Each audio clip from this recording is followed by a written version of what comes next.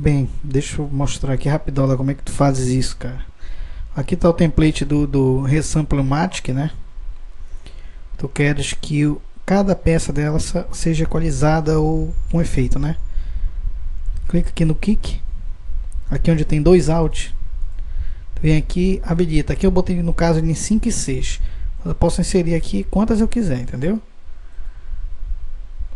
Eu desabilitei, ele estava aqui, eu tirei daqui e botei só no 5 e 6. Te dando só exemplo.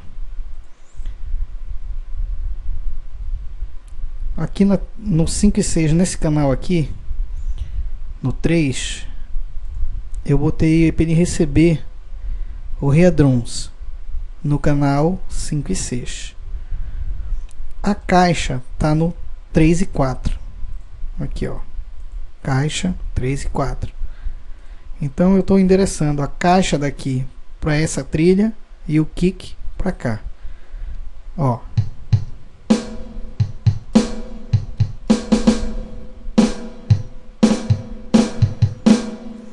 Mas olha, como tu pode notar, aqui nada mais é do que vários resamplomatic aqui. Tu poderia abrir um em cada trilha aqui e fazer isso logo embaixo. Entendeu? Não vou demorar muito para não ficar longa essa videoaula, tá? Um forte abraço a todos e bem-vindos ao mundo Reaper.